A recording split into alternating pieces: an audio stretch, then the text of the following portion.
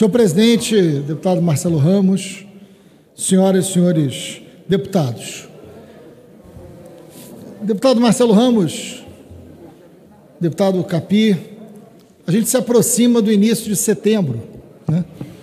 E lembrei perfeitamente dos meus tempos de colégio, do significado do 7 de setembro. Claro que todo jovem estudante gosta do feriado, mas para além disso, esse feriado sempre foi marcado, deputado Marcelo Ramos, pelos desfiles, né, pelas chamadas paradas, pelas bandas de música das escolas. E eu, que estudei numa escola de periferia em Niterói, é, sempre tive um carinho por essa data. Né? A escola treinava o seu desfile, a banda de música. Pois bem, o 7 de setembro, num país com uma dimensão, deputada Adriana, continental como o Brasil, ele é marcado, e deveria ser marcado, por um momento de união, por um momento de patriotismo que gerasse unidade, mesmo num país tão desigual, mesmo num país com uma história com tanta violência. Eu também, deputado Capi, sempre que escuto o hino nacional, me emociono. Eu e diversos das senhoras e senhores deputado Pompeu. O hino nacional, diante da apresentação da seleção brasileira ou do sucesso de um atleta olímpico, nos emociona, nos dá orgulho. Criamos uma, ali uma identidade nacional, uma identidade que unifica um país, o que é um sentimento importante para a superação de qualquer problema que esse país tem. Então, deputado Marcelo Ramos, as cores da bandeira, as cores nacionais, o hino nacional, todos os símbolos que pertencem ao país devem unicamente servir à unidade desse país, ao crescimento desse país. Jamais deveriam servir como forma de dividir o país ou como forma de promover ódio de uns contra os outros. Jamais deveria servir para ameaças. E é neste sentido, senhoras e senhores deputados, que me espanta a postura do presidente da República e dos seus seguidores mais fanáticos, porque estamos falando de fanáticos. Não estamos falando de quem tem um pensamento político, uma opinião que é diferente da nossa. Isso é bom.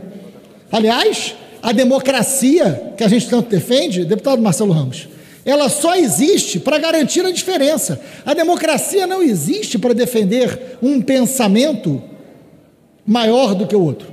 A democracia existe para defender a possibilidade de pensarmos diferente. Se não pensássemos diferentes, a democracia não seria necessária.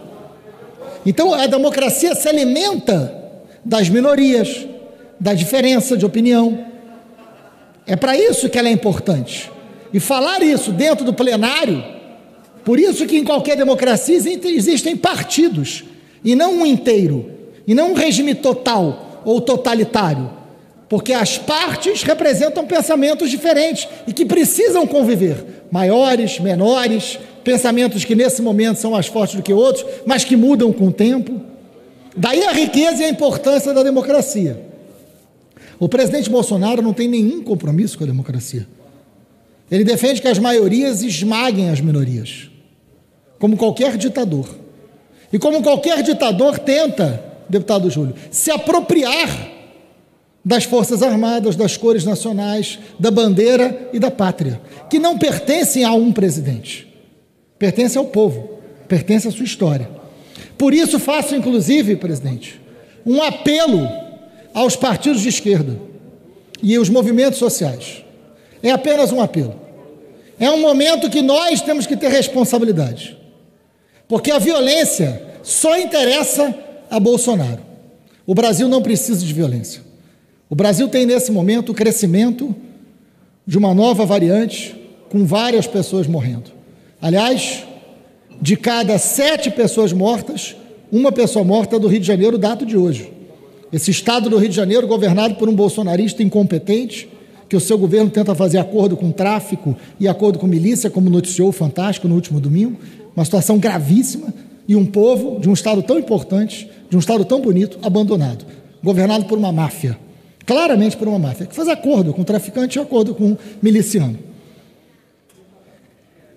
E neste momento de pandemia, neste momento que a gente se aproxima de 600 mil brasileiros mortos, o Brasil não precisa de violência.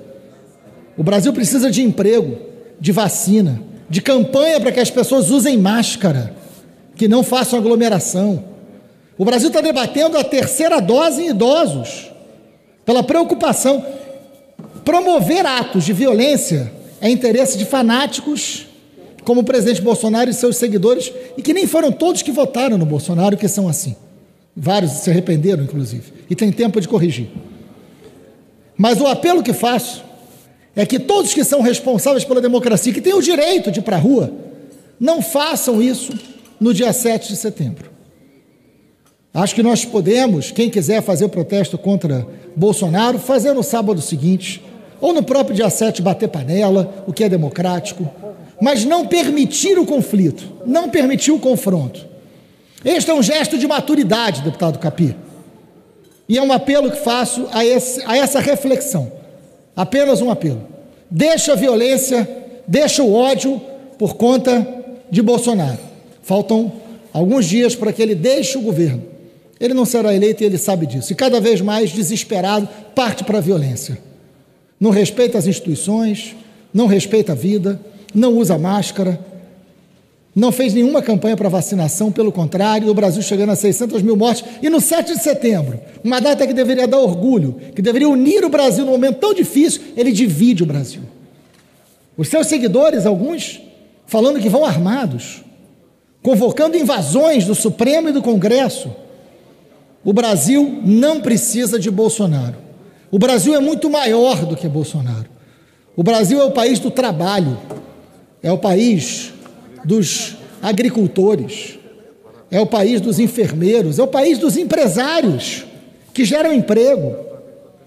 O Brasil é muito maior do que o ódio, do que o medo, do que a doença. Então, que esse 7 de setembro, deputados e deputadas, possam representar aquilo que significa um país da grandeza do Brasil com suas cores. Não a promoção dessa violência.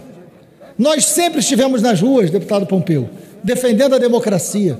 Aliás, vivemos 21 anos de ditadura civil-militar. 21 anos. E ela foi derrotada porque as pessoas foram para a rua e lutaram. E nós vamos continuar lutando pela democracia.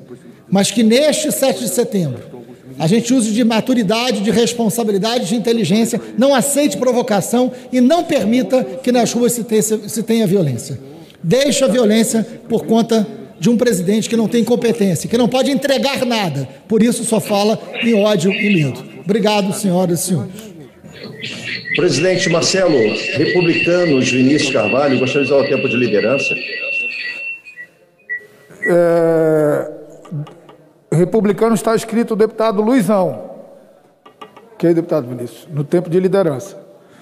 Tempo de liderança do Ô, Pedro. presidente.